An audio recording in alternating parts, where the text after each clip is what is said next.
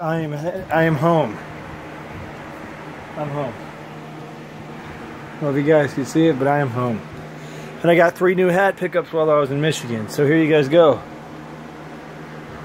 Why is it so dark? Hang on. There we go. That should be better. So, got three new hat pickups while I was in Michigan. I got this minute this Minnesota Timberwolves hat.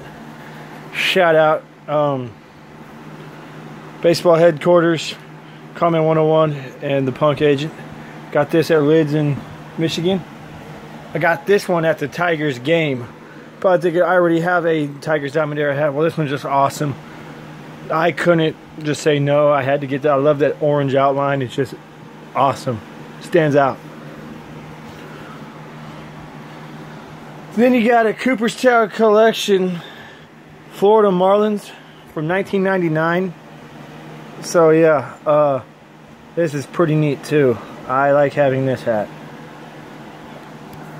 Stay fly, Jess World 2.0. I'll see you guys later. Have a great one.